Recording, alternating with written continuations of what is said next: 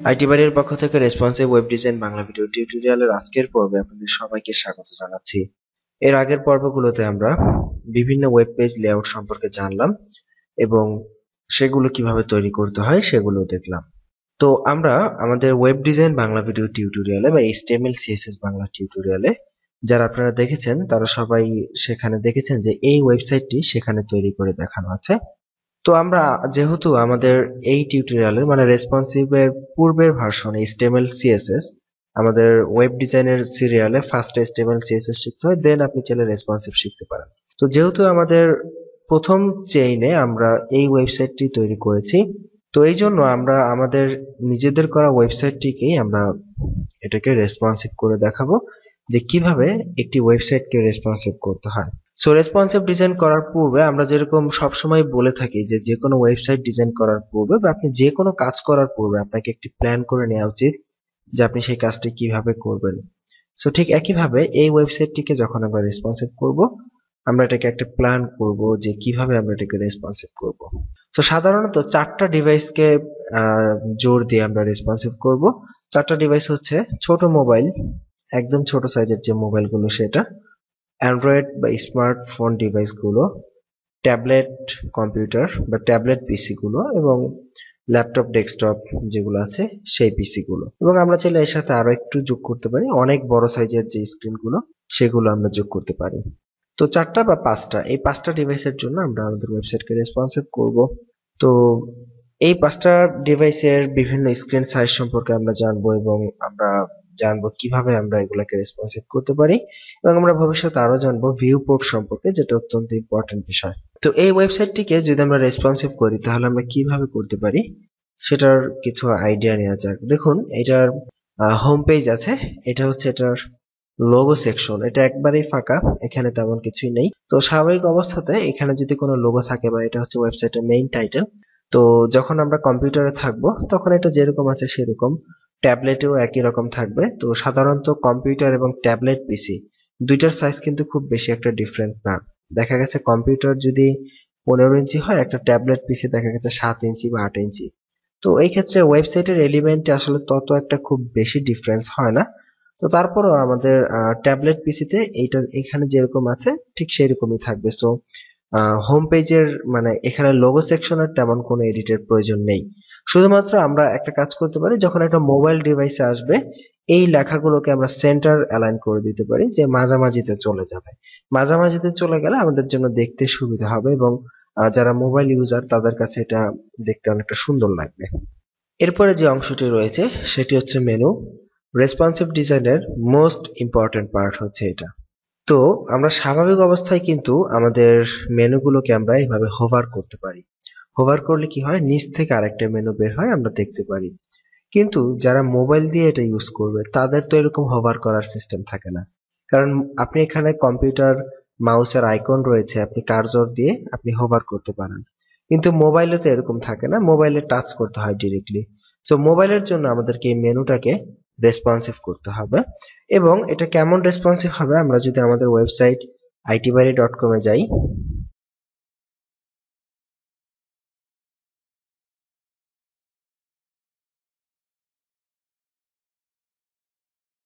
Captcha entry করতে হচ্ছে সিকিউরিটির জন্য। তো যাই হোক, আমরা আইটি বাড়িতে প্রবেশ করলাম। দেখুন, স্বাভাবিক অবস্থায় এই হচ্ছে আমাদের মেনু এবং যখন আমরা এটাকে জুম করব বা সাইজ ছোট করব আমাদের স্ক্রিনের তো আপনি চাইলে জুম জুমও করতে পারেন অথবা স্ক্রিন সাইজ ছোটও করতে পারেন। সো এটার যখন আমরা সাইজ ছোট করব, দেখুন, যখন এটা মোবাইলের জন্য যাবে, তখন কিন্তু মেনুটার এরকম থাকবে না। দেখুন, আগে কেমন মেনু ছিল? এবং যখন ছোট হলো, তখন এটা ক্লিক ক্লিকেবল মেনু হয়ে গেল। তখন আমরা এটাকে ক্লিক করতে পারব। সো আমাদের ওয়েবসাইটের মেনুটাকেও ঠিক একই রকম ভাবে রেসপন্সিভ করতে হবে। স্বাভাবিক অবস্থা এরকম এবং যখন এটা জুম করব বা যখন একটা ছোট ডিভাইসে যাবে ট্যাবলেট বা মোবাইলে যাবে, তখন এটা ক্লিকেবল হয়ে যাবে। সো এই কাজটা আমরা জাভাস্ক্রিপ্ট ব্যবহার করে করব, সেটা আমরা নেক্সটে দেখব। এরপরে রয়েছে আমাদের স্লাইডার স্লাইডার ক্ষেত্রে স্লাইডার আসলে মোবাইলে থাকবে এবং ট্যাবলেট সরি কম্পিউটারে থাকবে, ট্যাবলেটে থাকবে। তো মোবাইলে আমরা চাইলে রাখতেও পারি, নাও রাখতে পারি। তবে সাধারণত স্লাইডার মোবাইলে না রাখাটাই বেটার কারণ এমনিতেই মোবাইলে ইন্টারনেট স্লো থাকে এবং লোড হতে সময় বেশি নিতে পারে যদি আপনি স্লাইডার ইউজ করেন। তো জেনারেলি ক্লায়েন্টরা মোবাইল ভার্সনের জন্য স্লাইডার রাখে না। সো স্লাইডারটা আমরা মোবাইল ভার্সনে স্কিপ করব। এরপরে রয়েছে কন্টেন্ট সেকশন বাম পাশে কন্টেন্ট ডান পাশে কন্টেন্ট সো এই কন্টেন্টগুলোকে আমরা যেটা করব, স্বাভাবিক অবস্থায় কম্পিউটার এবং ট্যাবলেটে এগুলো পার্সেন্টেজ আকারে সাইজ ছোট বড় হবে। কিন্তু যখন মোবাইলে চলে আসবে, তখন এই বাম পাশের কন্টেন্ট আর এইভাবে না থেকে ফুল এরিয়া জুড়ে হয়ে যাবে এবং এই সাইড বার এরিয়াটা ডান পাশে না থেকে নিচে চলে আসবে এবং নিচে ফুল এরিয়া নিয়ে নিবে। এতে করে আমাদের সাইড বারের লেখাগুলো বা সাইড বারের জন্য যে জায়গা আছে, সেখানে কোনো শর্টেজ হবে না। এবং সবার শেষে আছে কপিরাইট এরিয়া সো সিম্পল এটা যেরকম আছে সেই রকমই থাকবে, এক্ষেত্রে খুব বেশি এডিট হবে না। এই হচ্ছে মূলত আমাদের এটাকে রেসপন্সিভ করার প্ল্যান আমরা কীভাবে কোন ডিভাইসের জন্য রেসপন্সিভ করব। তবে সাধারণত আমি আবারও রিপিট করতেছি, চারটা ডিভাইসের জন্য রেসপন্সিভ করা হয় কম্পিউটার ট্যাবলেট স্মার্টফোন ডিভাইস এবং ছোট মোবাইলগুলো আশা করি আমাদের প্ল্যান আপনারা বুঝতে পেরেছেন। আগামী পর্ব থেকে আমরা ডিরেক্টলি কোড করা শুরু করে দেব। এবং এই ওয়েবসাইটের সোর্স কোড আমরা এই টিউটোরিয়ালের সাথে দিয়ে দিচ্ছি। আপনারা সেখান থেকে প্র্যাকটিস করতে পারবেন। তো আজকের পর্ব এই পর্যন্তই। আগামী পর্বের আমন্ত্রণ রইল। ভালো থাকবেন সবাই। আল্লাহ হাফিজ। আইটি বাড়ির পক্ষ থেকে responsive web design Bangla video টিউটোরিয়ালের আজকের পর্বে আপনাদের সবাইকে স্বাগত জানাচ্ছি। তো কথা ছিল, আমরা এই ওয়েবসাইটটিকে রেসপন্সিভ করব এবং এটাকে আমরা বিভিন্ন ডিভাইসের জন্য এটাকে আমরা সঠিকভাবে ওয়েটগুলো মেনটেন করব। তো এখন কথা হচ্ছে রেসপন্সিভ ডিজাইন করতে গেলে আমরা অ্যাট ফার্স্ট চারটা ডিভাইসকে টার্গেট করব। জেনারেলি চারটা ডিভাইসকে টার্গেট করা হয়। একটি হচ্ছে কম্পিউটার বা ডেস্কটপ বা ল্যাপটপ আরেকটি হচ্ছে ট্যাবলেট একটি হচ্ছে স্মার্টফোন ডিভাইস এবং আরেকটি হচ্ছে ছোট সাইজের ডিভাইস বা ছোট সাইজের মোবাইল তো এই যে চার ধরনের ডিভাইসকে টার্গেট করা হয়, এখন একটা জিনিস চিন্তা করেন যে কম্পিউটার মনিটরের মধ্যে বিভিন্ন সাইজের মনিটর রয়েছে। ট্যাবলেটের মধ্যে বিভিন্ন সাইজের ট্যাবলেট রয়েছে। মোবাইলের মধ্যে বিভিন্ন সাইজের মোবাইল আছে। তারপরে মোবাইল আমরা ল্যান্ডস্কেপ ভিউ রয়েছে পোর্ট্রেট ভিউ রয়েছে। দেন এক এক স্মার্টফোনের সাইজ আবার এক এক রকম। দেখা গেছে আপনি বিভিন্ন ব্র্যান্ডের বিভিন্ন সাইজের স্মার্টফোন তো এই যে যে বিভিন্ন টাইপের ভেরিয়েশন তো এখন তো এখন এমন একটা পর্যায়ে চলে আসছে যে আপনাকে এত ভেরিয়েশন মেনটেন করে যদি আপনাকে ডিজাইন করতে হয়, তখন দেখা গেছে আপনাকে প্রায় একশো বা দেড়শো রকমের সিএসএস লিখতে হবে আপনার রেসপন্সিভ সাইটের জন্য। তো আমরা এত ভেরিয়েশন ফলো না করে আমাদের কাজের সুবিধার জন্য আমরা যাতে একটা স্ট্যান্ডার্ড মিডিয়া কোয়েরি ফাইল বা মিডিয়া কোয়েরির একটা স্ট্যান্ডার্ড সাইজ যে এত পিক্সেল থেকে এত পিক্সেল এত পিক্সেল থেকে এত পিক্সেল এরকম যদি আমরা একটা স্ট্যান্ডার্ড সাইজ পেয়ে যাই, তাহলে কিন্তু আমরা ইজিলি কাজটা করে ফেলতে পারব। তো এরকম একটি স্ট্যান্ডার্ড সাইজ হচ্ছে সিএসএস লেস ফ্রেমওয়ার্ক বলে। আমরা যদি গুগলে সিএসএস লেস ফ্রেমওয়ার্ক লিখে সার্চ করি আপনাদের সামনে এরকম একটি ওয়েবসাইট আসবে গিট হাবের একটি পেজ আসবে যে জন কর্পি তো আমরা এটাতে ক্লিক করে প্রবেশ করব। তো এই ভদ্রলোক সিএসএস লেস ফ্রেমওয়ার্কে আমাদের জন্য আগে থাকতেই এমন কিছু মিডিয়া কোয়েরি উনি তৈরি করে রেখেছে, যেটা ব্যবহার করে আমরা ইজিলি আমাদের এই স্ট্যান্ডার্ড ডিভাইসগুলো আমরা ফলো আপ করতে পারি। এতে করে আমাদের আর ডিভাইসের উইড নিয়ে চিন্তা করতে হবে না। উনি বিভিন্ন ডিভাইসের উপর রিসার্চ করে বেশ কিছু স্ট্যান্ডার্ড মিডিয়া কোয়েরি লিখে রেখেছে। যেমন এখানে আমরা তিন ধরনের সিএসএস মূলত দেখতে পাচ্ছি। Sixteen pixel based seventeen pixel based eighteen pixel based এটা হচ্ছে মূলত আপনার ফন্টের সাইজ কত পিক্সেল সেই অনুযায়ী আপনি এখান থেকে ডাউনলোড করতে পারেন। অথবা এখানে এটা সম্পর্কে আরও বিস্তারিত জানতে চাইলে এখানে ওরা এখানে ডিটেলস লিখে দিয়েছে যে কোনটা কিসের জন্য। তো এখান থেকে আমরা যদি সিক্সটিন পিক্সেলটা পিক আপ করি, আমরা যদি এটার উপর ক্লিক করি আপনি দেখবেন সিক্সটিন পিক্সেল লেআউটের জন্য আমাদের যে কোড দরকার বা আসলে এখানে সিক্সটিন পিক্সেলটা মুখ্য বিষয় না, এখানে কারণ এখানে যে টাইপোগ্রাফি ফাইলগুলো রয়েছে, এগুলো আমরা ডিলিট করে দিব। সো মেইনলি আমাদের রেসপন্সিভ ডিভাইসগুলোর লেআউটের জন্য যে মিডিয়া কোয়েরি দরকার, এই দেখুন উনি মিডিয়া কোয়েরি গুলো এখানে লিখে দিয়েছে বিভিন্ন ডিভাইসের জন্য এবং উপরে উল্লেখ করে দিয়েছে যে এটা কোন ডিভাইসের জন্য। সো এটা আমাদের জন্য অত্যন্ত ইফেক্টিভ এবং আমরা এটা ব্যবহার করে আমাদের ওয়েবসাইটকে চমৎকারভাবে রেসপন্সিভ করে ফেলতে পারি। সো রেসপন্সিভ করার পূর্বে আমাদেরকে আরেকটি বিষয় খেয়াল রাখতে হবে যে এই যে আমরা সিএসএসগুলো ব্যবহার করব রেসপন্সিভ কোড লেখার জন্য, আমরা চাইলে এটা হচ্ছে আমাদের সোর্স ফাইল আমাদের এই ওয়েবসাইটটির সোর্স ফাইল যে ওয়েবসাইটটি আমরা রেসপন্সিভ করব। তো আমরা চাইলে সেই সোর্স ফাইলের স্টাইল ডট সিএসএসটাকে আমরা ওপেন করে আমরা চাইলে এটা সবার শেষেও যোগ করে দিতে পারি মিডিয়া ফাইলগুলো অথবা আমরা যদি চাই এটাকে আলাদা করব বা রেসপন্সিভের কোডগুলো আলাদা থাকবে, তাহলে আমরা আলাদা একটি সিএসএস ফাইল নিতে পারি। এই সিএসএস ফোল্ডারের ভেতরে রেসপন্সিভ ডট সিএসএস নামে আমরা একটি সিএসএস ফাইল ক্রিয়েট করতে পারি এবং সেই সিএসএস ফাইলকে আমরা ইন্ডেক্সের সাথে লিঙ্ক আপ করিয়ে দিতে পারি। লিঙ্ক আপ করিয়ে আমরা রেসপন্সিভ ডিজাইন শুরু করতে পারি।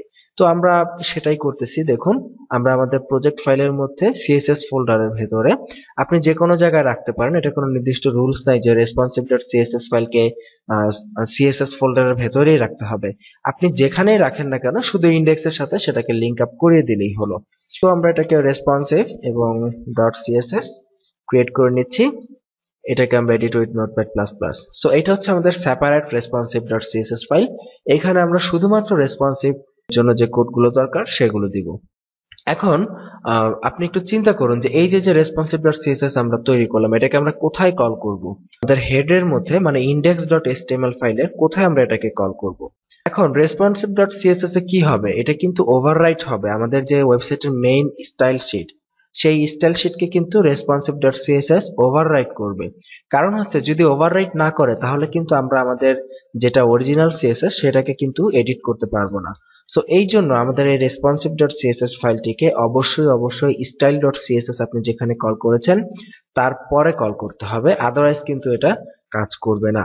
তো আমরা এটাকে রেসপন্সিভ ডট সিএসএস এবং এটা সিএসএস ফোল্ডার ভেতরে আছে, আমরা এইভাবে এটাকে শেষে কল করে দিলাম, যাতে করে এইটার পাওয়ার অন্যান্য সিএসএস এর উপরে থাকে এবং এইটাতে আমরা যে সিএসএস অ্যাপ্লাই করব, সেটা যাতে অন্যান্য গুলোকে ওভাররাইড করতে পারে। দেখি রেসপন্সিভ ডট সিএসএস কাজ করে কিনা, আমরা একটু ট্রাই করেই দেখি যে কোনো একটা কিছু। যেমন এখানে হোম পেজ দেখি আমরা কালার দিয়ে আছে সাদা হেডার এস্টো আমরা একটু টেস্ট করার জন্য যে এটা অ্যাক্টিভ হয়েছে কিনা, আমরা এখানে হেডার এস্টো এটাকে নিয়ে এখান থেকে ইন্সপেক্ট এলিমেন্ট করে এটার কালারটা একটু রেড দিয়ে দেখি, সবার উপরে এটার পাওয়ার আসে কিনা। রিফ্রেশ করুন, এই যে দেখুন হোম পেজের কালার লাল হয়ে গেছে। দ্যাট মিনস এবং এটাকে আমরা ইন্সপেক্ট এলিমেন্ট করলে দেখতে পারব, এটা পেয়েছে রেসপন্সিভ ডট সিএসএস থেকে কালার রেড এবং আমাদের যেটা অরিজিনাল স্টাইল সিএসএস এর মধ্যে যেটা ছিল কালার সাদা, সেটা কিন্তু এখান থেকে পাইনি। That means responsive dot CSS এর পাওয়ার এখন সবচাইতে বেশি, এবং আমরা এইটার মধ্যে আমাদের সিএসএস এর কোডগুলো দিয়ে বা রেসপন্সিভ এর কোডগুলো দিয়ে আমরা কোডিং করা শুরু করব। তো আমরা প্রথমেই আমরা যে লেস ফ্রেমওয়ার্ক যে কোডিংটা নিয়েছিলাম, আমরা সেটাকে আমরা পুরোটাকে এখান থেকে কপি করে নেই। আপনি চাইলে এটাকে ডাউনলোডও করে নিতে পারবেন।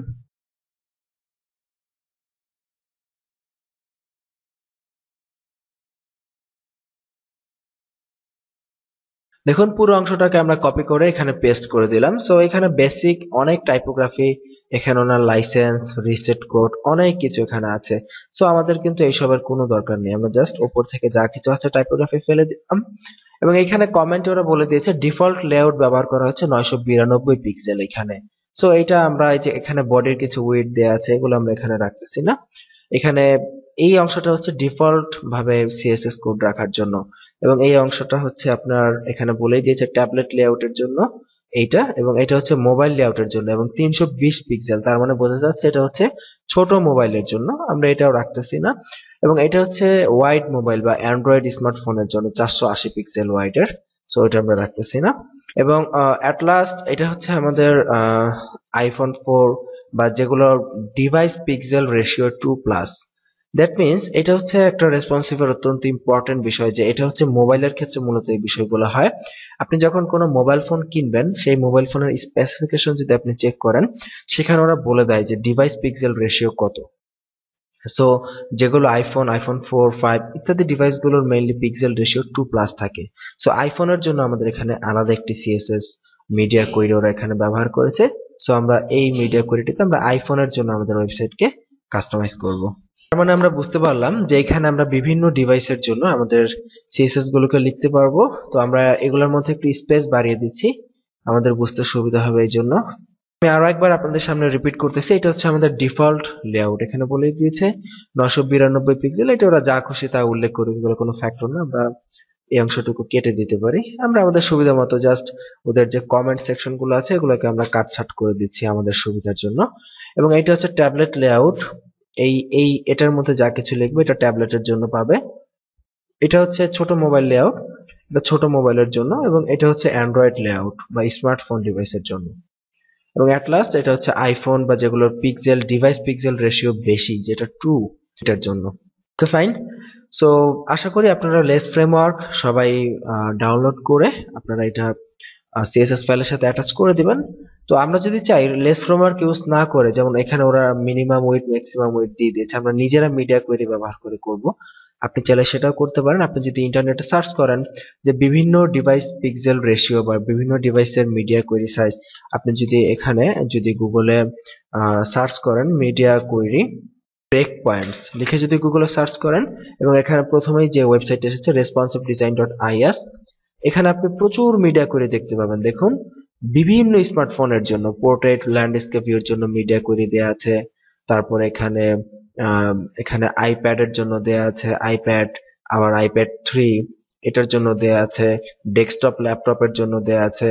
IPhone four iPhone five iPhone six ইত্যাদি বিভিন্ন ডিভাইসের জন্য, যেমন Samsung Galaxy S five S four এভাবে ডিভাইস ধরে ধরে আপনি ইন্টারনেট থেকে চাইলে মিডিয়া কোয়েরি গুলো খুঁজে পেতে পারেন, সেগুলোর উইড সম্পর্কে জানতে পারেন।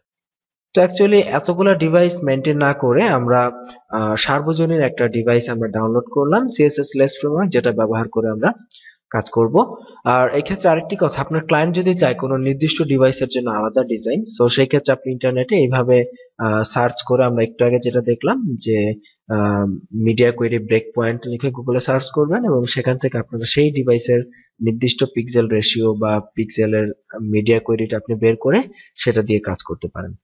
আশা করি বুঝতে পেরেছেন, আগামী পর্ব থেকে আমরা ডিরেক্টলি এটা রেসপন্সিবল কাজ শুরু করে দিব। সো আগামী পর্বের আমন্ত্রণ রইল, আজকের পর্ব এখানে বিদায় নিচ্ছি।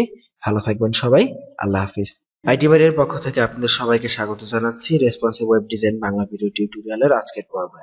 তো এই সাইটটিকে রেসপন্সিভ করতে গেলে আমাদেরকে ফার্স্টেই দেখতে হবে যে আমরা অ্যাট ফার্স্ট আমাদের তো ডিফল্ট লেআউট রয়েছে নয়শো ষাট পিক্সেল উইথ আমরা এখানে ব্যবহার করেছি আমাদের ওয়েবসাইটটিতে দেখুন এখানে কন্টেন্ট র্যাপার এই যে, আমরা টোটাল র্যাপের ওয়েট ছিল নয়শো ষাট পিক্সেল এবং মেইন র্যাপের ওয়েট হান্ড্রেড পার্সেন্ট সো আমাদের এই নয়শো ষাট পিক্সেল ওয়েটে কিন্তু রাখলে হবে না। এটা আমাদেরকে যেহেতু আমাদের এখানে এডিট প্রয়োজন, এই র্যাপটাকে এডিট প্রয়োজন সো এই ক্ষেত্রে আমরা এখান থেকে র্যাপটাকে কেটে নিয়ে যাই।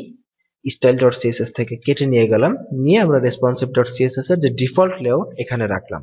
আমরা চাইলে এটা নাও করতে পারতাম, এটা করাটা বাধ্যতামূলক নয়, কারণ এটা এখানে রাখলেও ডিফল্ট এবং সিএসএস স্টাইল ডট সিএসএস এর মধ্যে থাকলেও ডিফল্ট সো আমাদের ব্যবহারের সুবিধার জন্য আমরা র্যাপটাকে কেটে নিয়ে গেলাম এবং এখন এখানে আমরা এটাকে আমরা ওয়েট ফিক্স করব। সো এখানে আমরা দেখতে পারতেছি আমাদের এটা নয়শো বিরানব্বই হবে না, এটা আমরা নয়শো ষাট পিক্সেল এটা কোনো ফ্যাক্টর না এটা আমরা এখানে এডিট করে দিলাম। তো যাই হোক, এটা উইড আমাদের টোটাল যে র্যাপটা সেই র্যাপের উইড দিয়ে আছে নয়শো ষাট পিক্সেল এটা বেসিক অবস্থায়, স্বাভাবিক অবস্থায়। সো স্বাভাবিক অবস্থায় উইট আমরা নশো ষাট পিক্সেল রেশিও রাখতে পারি নো প্রবলেম এবং এটাকে আমরা এমনও করে দিতে পারি যে, এটা বড় সাইজের স্ক্রিনের জন্য, যা সাধারণত কম্পিউটার বা এর থেকে বড় সাইজের স্ক্রিনের জন্য, এটাকে আমরা বারোশো পিক্সেল বা তার থেকে বেশি এরকম একটা ডিভাইস রেশিওতে রাখতে পারি। তো আপাতত এটা নয়শো ষাটে আছে নয়শো ষাটেই থাকল। কিন্তু এটা যখন ট্যাবলেট লেআউটে আসবে, দেখুন ট্যাবলেট লেআউটের রেঞ্জটা কতটুকু? ম্যাক্সিমাম ওয়াইড নয়শো একানব্বই পিক্সেল মিনিমাম ওয়াইট সাতশো আটষট্টি পিক্সেল সো এই ক্ষেত্রে আমরা র্যাপটাকে কপি করি এবং এখানে একটা জিনিস খেয়াল করুন, আমাদের কিন্তু র্যাপের আমাদের ডিসপ্লে ব্লক হবে না মার্জিন জিরো অটো হবে, এগুলা কিন্তু ওপর একবার দেয়াই আছে। সো আমাদের কিন্তু র্যাপের শুধুমাত্র চেঞ্জ করতে হবে উইথ সো আমাদের ডিসপ্লে এবং মার্জিন দরকার নেই, এটা কেটে দিলাম। এবং যখন এটা ট্যাবলেট লেআউটে যাবে, তো সাতশো আটষট্টি থেকে নয়শো একানব্বই পিক্সেল এই রেঞ্জের মধ্যে আমাদের ওয়েবসাইটটা আসবে। সো এই ক্ষেত্রে আমরা ট্যাবলেট লেআউটের জন্য আমরা উইথকে হান্ড্রেড পার্সেন্ট করতে পারি। হান্ড্রেড পার্সেন্ট করলে কি হবে? ট্যাবলেট ভিউতে আমরা যদি উইথটা হান্ড্রেড পার্সেন্ট সেভ করি সেভ করে আমরা এটাকে ফায়ারফক্সে দেখি মোবাইল মোড অন করে। কন্ট্রোল শিফট এম দেখুন এটা। দেখুন আমরা উইথ দিয়েছিলাম হান্ড্রেড পার্সেন্ট একটু কমাই।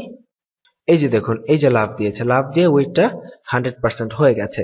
সো ট্যাবলেট মোটামুটি বড় সাইজের ডিভাইস ট্যাবলেট আসলে অতটাও ছোট সাইজের ডিভাইস না। ট্যাবলেট দিয়ে মোটামুটি ইফিসিয়েন্টলি ডিজাইন করা যায়। সো এই ক্ষেত্রে আমরা ট্যাবলেটে আমরা উইথটাকে হান্ড্রেড পার্সেন্ট না রেখে উইথটাকে আমরা নাইনটি ফাইভ পার্সেন্ট রাখি। রেখে এবার আমরা এটাকে রিফ্রেশ করলে দেখবেন, ডানে বামে কিছু, এই যে অল্প কিছু জায়গা এখানে আছে সো আমাদেরকে দেখতে অনেকটা সুন্দর লাগবে। ডান পাশ থেকে যদি কিছুটা জায়গা থাকে। ট্যাবলেটের যে রেঞ্জ সেই রেঞ্জের জন্য আমরা কিন্তু এটাকে মানে মেইন উইথটাকে আমাদের টোটাল প্রপার্টির মেইন উইথটাকে কিন্তু আমরা রেসপন্সিভ করলাম। সো অ্যাকচুয়ালি ট্যাবলেট ভিউতে অ্যাকচুয়ালি আমাদের খুব বেশি কিছু এডিট করার প্রয়োজন পড়ে না। কারণ দেখুন ট্যাবলেট ভিউতে সাইড বারগুলো পারফেক্ট বাম পাশের অংশগুলো পারফেক্ট সো এই ক্ষেত্রে আমরা যেটা করব সাইড বার এবং ডান বামের অংশগুলোকে আমরা পার্সেন্টেজ আকারে নিয়ে যেতে পারি। পার্সেন্টেজ আকারে যদি আমরা এটাকে বিবেচনা করি ট্যাবলেট ভিউর জন্য, তাহলে আমাদের জন্য কিছুটা সুবিধাজনক হবে। সো এটাকে আমরা ইন্সপেক্ট এলিমেন্ট করি। দেখুন, এই হচ্ছে আমাদের মেইন কন্টেন্ট র্যাপার এটার পেছনে আছে এই যে ডিপ কন্টেন্ট এটার উইথ দিয়ে আছে ছয়শো বিশ পিক্সেল সো এটাকে আমরা ট্যাবলেট ভিউর জন্য মেইনলি এটাকে আমরা পিক্সেলে রাখতেছি না। এটাকে আমরা একটা কাজ করতে পারি। এটাকে আমরা সেভেন্টি ফাইভ পার্সেন্ট উইথ দিতে পারি। সেভেন্টি ফাইভ পার্সেন্ট বা আরেকটু কমাই। সিক্সটি ফাইভ পার্সেন্ট উইথ এটা হচ্ছে আইডি কন্টেন্ট এটাকে দিতে হবে। সো আমরা এখান থেকে কেটে নেই। কেটে এটাকে আমরা উইথ দিয়ে দিই সিক্সটি ফাইভ পার্সেন্ট দেখুন, আমরা কিন্তু এই ক্ষেত্রে, এখানে কিন্তু ট্যাবলেটে কিন্তু আমরা কন্টেন্টের কিছু প্রপার্টি দিয়েছি। আমরা কিন্তু চাইলে ডট সিএসএস থেকে আমরা কন্টেন্টকে কেটে আমরা এইখানে উপরে ডিফল্টে বসাতে পারতাম। তো এটা বসালেও হবে, না বসালেও হবে। আমাদের just content eighty five percent float left আছে ডিফল্ট অবস্থায় ফ্লোয়েট লেফটই থাকবে।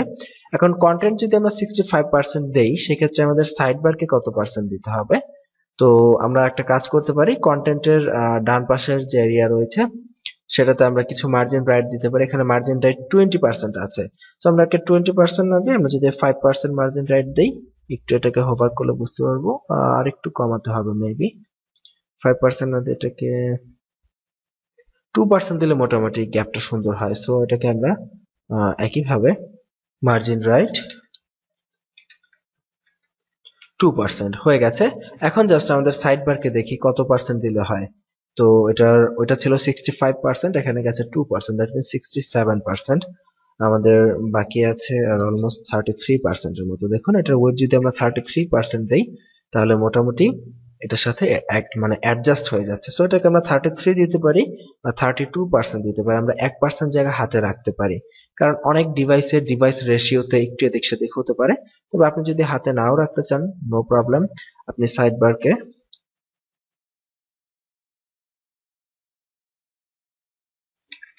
থার্টি থ্রি পার্সেন্ট সেভ এবার আমরা গুগল ক্রোম দিয়ে ট্রাই করে দেখি। একটু ছোট করি।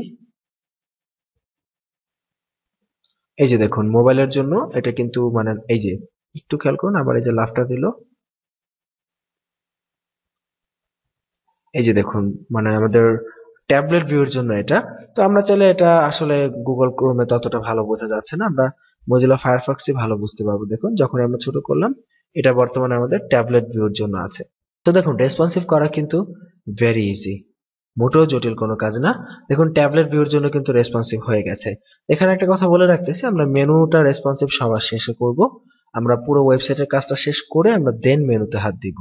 আপাতত আমরা ট্যাবলেট ভিউর কাজটা কমপ্লিট করতে পেরেছি, কারণ এই, আমাদের এই সাইটটা মোটামুটি অনেকটা সহজ, সরল ওয়েবসাইট এখানে তেমন কোনো এলিমেন্ট নেই। সো এই ক্ষেত্রে এটা পারফেক্ট আর এখানে সম্ভবত আমাদের যে ইমেজগুলো রয়েছে ইমেজগুলোর ওয়েট হাইট ফিক্স করা আছে, দেখুন।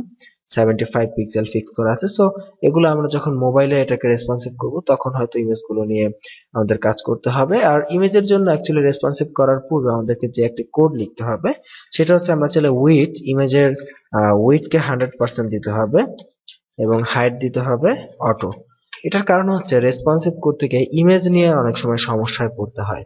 সো এই ক্ষেত্রে উইথ যদি আমরা হান্ড্রেড পার্সেন্ট দিয়ে রাখি অটোমেটিক্যালি ইমেজের উইথ হান্ড্রেড পার্সেন্ট হয়ে যাবে।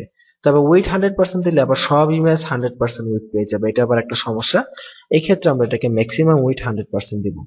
যে রেসপন্সিভের কারণে যেন আমাদের ইমেজের সাইজের কোনো প্রবলেম না হয়, এই জন্য আমরা ডিফল্ট যে লেআউট রয়েছে, সেই ডিফল্ট লেআউটে আমরা ইমেজের ম্যাক্সিমাম উইথ হান্ড্রেড পার্সেন্ট এবং হাইট অটো যাতে করে উইডের সাথে হাইট অটোমেটিক্যালি চেঞ্জ হয়।